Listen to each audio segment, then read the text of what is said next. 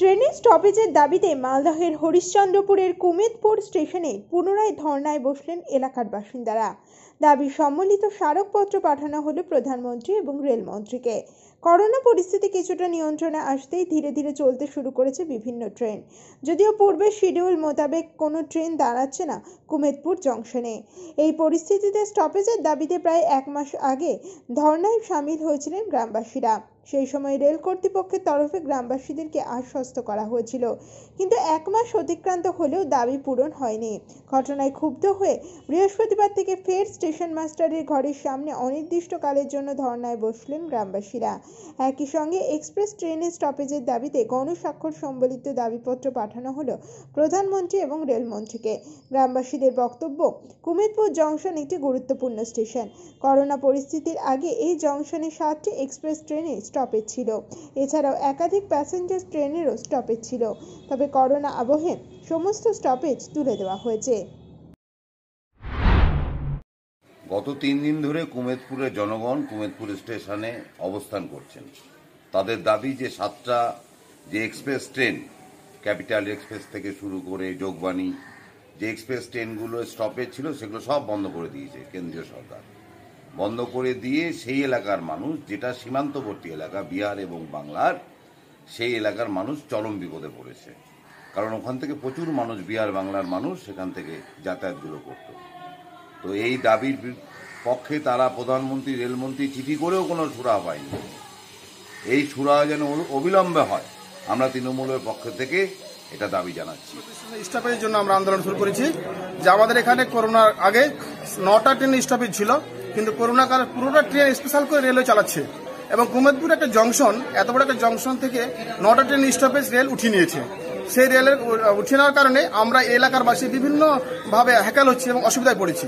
এটা নিয়ে আমরা বিগত দিনে একটা আন্দোলন চালু করেছিলাম। এক অক্টোবর থেকে বসেছিলাম। সে সময় আমরা ভারতের প্রধানমন্ত্রী থেকে নিয়ে national human rights commission chief minister state human commission এবং ডিআরএম সাহেবকে জিএম সাহেব সমস্ত জানিয়ে বসেছিলাম।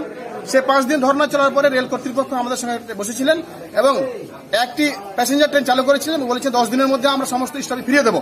কিন্তু পরবর্তী সময় আমাদের সঙ্গে মানে প্রতারিত করেছেন, আমাদের স্টপগুলো এখন ফিরিয়ে দেয়নি। আমরা বিভিন্নভাবে ডিআরএম সাহেবকে এবং ভারতের প্রধানমন্ত্রী সাহেবকে রেলওয়ে মিনিস্টারকে চিঠি করেছিলাম। না শোনাই, আমরা পরবর্তী সময় আবার ভারতের প্রধানমন্ত্রী নরেন্দ্র মোদী রেলমন্ত্রী রেলের চেয়ারম্যান আমাদের ডিআরএম সাহেব, আমাদের এমপি সাহেব, আমাদের মালদা ডিস্ট্রিক্ট ম্যাজিস্ট্রেট সাহেব স্টেট হিউম্যান রাইটস কমিশন এবং আমাদের মুখ্যমন্ত্রী সকলকে জানিয়ে আমরা এই জায়গায় আবার পুনরায় ধর্নায় বসেছি যে যতক্ষণ পর্যন্ত আমাদের কুমেদপুরের গৌরব, একটা কুমেদপুর জংশন, আমাদের নর্থ ইস্টের একটা হৃদয় বললে চলবে এবং এটা গরিব এলাকা বিপিএল এলাকাভুক্ত এটা এলাকা, আমাদের কোনো অপোজিট মানে ইয়ে নেই, ব্যবস্থা নেই যে আমরা অন্য কোনো মানে এতে ট্রাভেলের জন্য আমরা শিলিগুড়ি যাব বা মালদা যাব বা কাটিয়ার যাব, কলকাতা যাব। একমাত্র রুট হচ্ছে কুমেদপুরের মানুষের, সেটা হচ্ছে রেল আর এই রেল স্টেশন থেকেই সরকার সমস্ত স্টপেজগুলো উঠিয়ে নিয়েছে, যার জন্য আমরা মানে বিশেষভাবে দুর্ভোগে পড়ে গেছি। তাই আমরা আমাদের অধিকার জন্য গান্ধী নীতি অনুসরণ করে এবং আমরা আমাদের অধিকার শান্তিপূর্ণ ফিরে নেওয়ার জন্য আজকে তিন দিন ব্যাপী আমাদের ধর্না চলছে এই কুমেদপুর রেল স্টেশন। আমি তো বলব যে কেন এত দীর্ঘ সূত্রিতা? রেল ডিপার্টমেন্ট নিচে ভালো করে জানে যে কুমেদপুর ঋষিপুর, যে শ্রীপুর, যে স্টেশনগুলো, সেই স্টেশনগুলোতে ট্রেন থামতো। কোনো প্যাসেঞ্জার ট্রেন আর থামছে না। করোনার জন্য একেবারে সব বন্ধ করে দেওয়া হয়েছে। এর ফলে ওই এলাকার মানুষের এত ভোগান্তি হচ্ছে যে বলার কথা নয় আমরা সেই দিন গিয়েছিলাম আরেকটা ট্রেনের কাজ মানে উদ্বোধন করতে। এমপি ছিলেন এমপির সঙ্গে। সেই ক্ষেত্রেও তাদের এই দাবি, প্রবল দাবি উঠে এসেছিল। এখন পর্যন্ত কেন আমাদের রেল ডিপার্টমেন্ট করছে না আমরা বুঝতে পারছি না।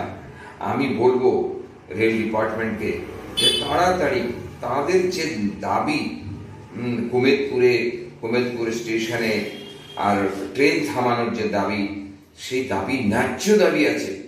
তাদের কথা মনে রেখে, তাদের দুর্দশার কথা, দুর্ভোগের কথা মনে রেখে রেল ডিপার্টমেন্টের উচিত হবে এখনই কমসে কম তাদেরকে নিয়ে বসা আর ওখানে যাতে ইমিডিয়েট আর সেখানটায় ট্রেন দাঁড়াতে পারে প্যাসেঞ্জার উঠতে পারে এবং নামতে পারে, তার ব্যবস্থা আমরা এই জানিয়ে বসেছি যে বিগত দেড় বছরের মধ্যে করোনা ভাইরাস নামক এক ভাইরাস আসার কারণে আমাদের কুমেদপুর স্টেশন থেকে যতগুলো ট্রেনের স্টপেজ ছিল, সমস্ত ট্রেনের স্টপেজ উঠিয়ে দেওয়ায় এবং যতগুলো লোকাল ট্রেন ছিল, সমস্ত লোকাল ট্রেনের স্টপেজ উঠিয়ে দেওয়ায় আমরা অনেক অসু- অসুবিধার মধ্যে অসুবিধা ভোগ করছি।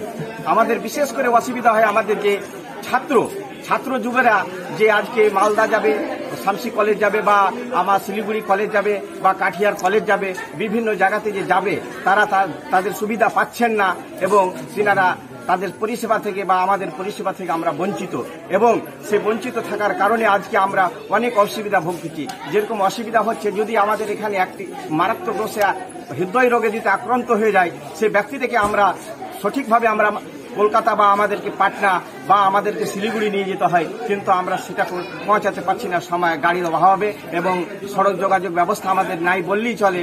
একমাত্র আমাদের রাস্তা যে রেল, আমাদের রাস্তা, রেল আমাদের সড়ক, যে যোগাযোগ রেলের উপর দিয়ে আমাদেরকে জীবিকা নির্বাহ বলেন বা যানবাহন বলেন বা যাই কিছু বলেন, তার উপর দিয়ে আমাদেরকে চলতে হয় এবং আমাদের তার উপরই নির্ভর করে থাকতে হয়।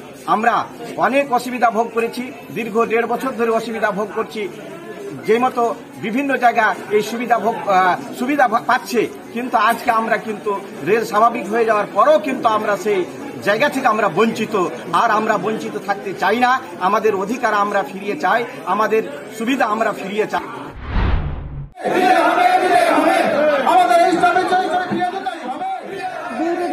খবরের দুনিয়া